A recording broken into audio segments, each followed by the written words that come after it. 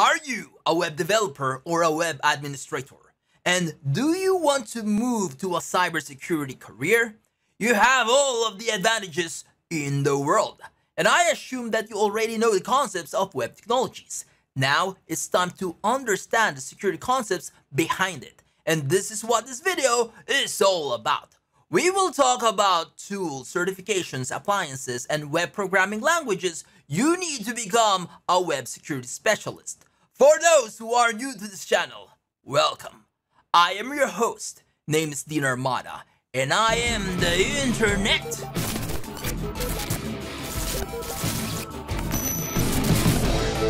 Action Star. And on this channel, we talk about tech careers and certifications, trivia tutorials in cybersecurity, trivia tutorials in cloud and data center, and my journey as an IT instructor. So feel free to check out the rest of the channel and consider subscribing.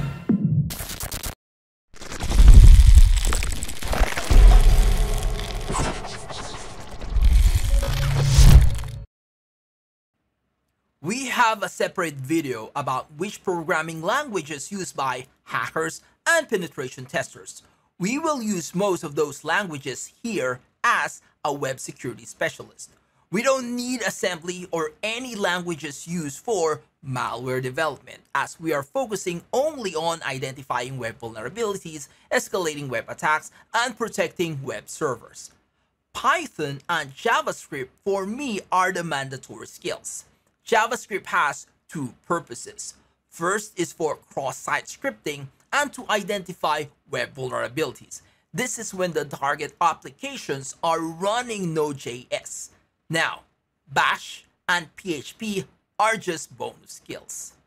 Alright, since you are already a web developer, any programming languages for web applications would be beneficial because it allows you to easily look for web vulnerabilities and exploits. This could be from a potential vulnerable functions or from an insecure coding. Other common language for web-based applications are Java, Go, .NET, and many more. Our main tool is Web Proxy, and the most popular and the most commonly used by most web security professionals is Burp Suite. Burp Suite is not just a web proxy. It also includes features for automating attacks, manipulating requests, decoding content, web crawling, and many others. It also has an API integration with Python. And it has three versions, Community, which is free, or the paid versions. We have the professional and enterprise versions. We also have OWASP Zap, which is an alternative to Burp Suite. Burp Suite Professional and Enterprise is better. But if you compare Burp Suite Community Edition to OWASP Zap, OWASP Zap has an advantage as web application scanning is not available in Burp Suite Free or Community Edition. For web scanners, first, Nmap is a tool not specifically for web but is still the best option for initial web deep scanning. We also have Nikto and WhatWeb. It's another vulnerability scanner but dedicated for web applications. It scans dangerous files, CGIs, outdated server software, uh, JavaScript libraries, web servers, and other web-related issues. As a web penetration tester, you also need to know how to do Google Dorking or Google hacking. We use Google Hacking Database to find publicly available web security related information as it contains Google search terms that frequently reveal vulnerabilities. Next, Gitrob. This allows you to find potential sensitive information that are pushed to GitHub. We also have Shodan and Censys. Both are security-centric search engine and very common tools used to find services, web, and IoT related information without scanning. Other tools, we have ffuf. This is a tool used for web fuzzing and it is written in Golang. And this is way faster than other fuzzing tools. It's free, open source, and even CLI based, it's still easy to use. Next is DirBuster and dirsearch. Both tools used to brute force web application directories and file names. also attempts to find many things such as hidden pages, hidden files, sub-applications, and many more. Next is Parameth. This is another brute force tool, but more on HTTP GET and POST parameters. Retire.js. This detects outdated JavaScript libraries and Node.js packages. And last, CVE database. This contains publicly disclose vulnerabilities and you can use those information against the target. Alright, so there are many penetration testing tools. But my team, these are the common tools we use.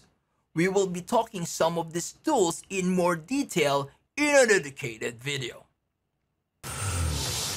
I am borrowing Career and Certification Captain Slide, Cybersecurity Career Roadmap, and here is the original. It's too many, right? And this is designed for many different tracks, such as security engineer, security analyst, and operations, security management, etc. What we want to know is what would be the best certification track for web security specialist. And we'll also have three levels. There, I remove many certifications. We just need those few, only related to web security. Now, under tier 1, assuming you are already familiar with web programming, the best certification start with is CompTIA Security Plus. For penetration testing, it would be advantageous if you have a solid foundation in Linux. There is no CCNA because we don't need to know Cisco routing switching and its configuration. That's why our next certification is F5CA. F5 Certified Big IP Administrator covers networking, web technologies, and how to manage application delivery controller slash load balancer. Pentest Plus, I will put this as an honorable mention. It's really broad, and it talks about not just penetration testing tools, but even organizations, standards, and practices as well. There is web vulnerability and penetration testing topics, but very minimal. Second tier, we have two penetration testing certifications. One is OSWA or Offensive Web Assessor and EWPT eLearn Web Application Penetration Tester, both from Offensive Security and eLearn Security Vendor, and both are hands-on lab and the certification has no expiration. OSWA is a 24 hour long lab and another 24 hours for documentation and reporting, while EWPT is 7 day long hands-on lab and another 7 days for reporting. Next is F5CTS ASM. Well, soon this will become Advanced WAF anyway. So F5 ASM and Advanced WAF both are the WAF solutions or Web Application Firewall solutions of F5. Uh, what we want to learn is not just offensive side of security, but the defensive side as well. This is the best certification to learn web attack prevention. It's 90 to 100 minutes read written exam and it also covers web attacks. If you already passed OSWA or EWPT, you already covered around 20% of the exam. Um, there is no certification, or at least not well known for Akamai and Imperva, but any knowledge from these two leading WAF vendors is advantageous, very valuable, and I will put these two as honorable mention. Okay, next, tier 3 or the expert level. First is the OSWE or Offensive Security Web Expert. This is the upgrade of OSWA, the most advanced penetration testing certification. It's 48 hour lab exam plus another 24 hours for documentation and reporting. Take note, learning programming slash scripting is a must for the exam. Alright, next, EWPTX or eLearn Web Application Penetration Tester Extreme. This is the upgrade of EWPT. Also 7 days lab and 7 days reporting. Alright. The device for web technologies are just two. First is the actual server, which is most of the time runs in Linux, with web services such as Apache or Nginx.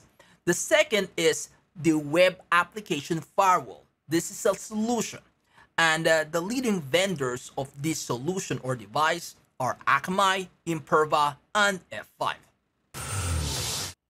We're not done yet. There is a special track. We will add the special learning and certification. We will add our favorite tool, Burp Suite.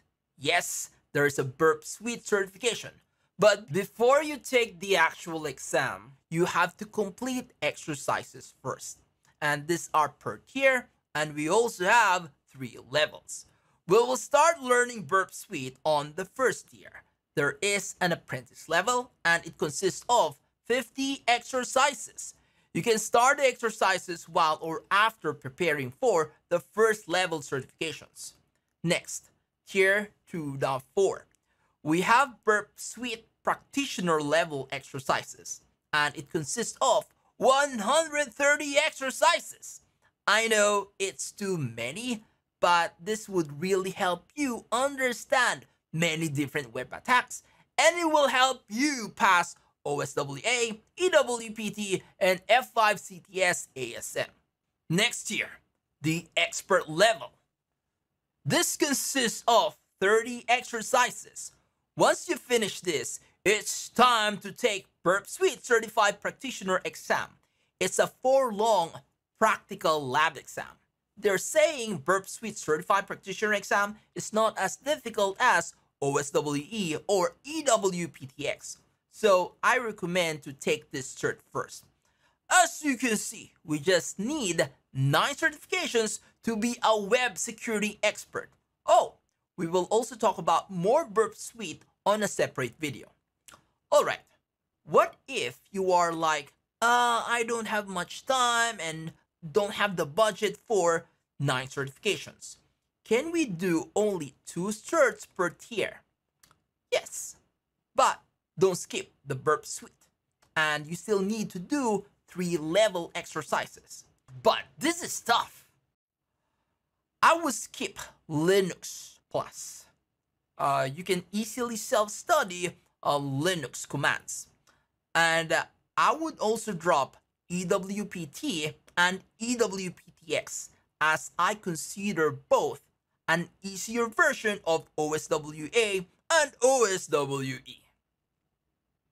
So, those are the things you need to be a successful web security specialist up to the expert level. On this channel, starting this month, April of 2022. Until the rest of the year, we will be focusing on web security. We will be talking about many different web attacks, including programming slash scripting, and how to mitigate them using web application firewalls, such as F5, Akamai, and Imperva.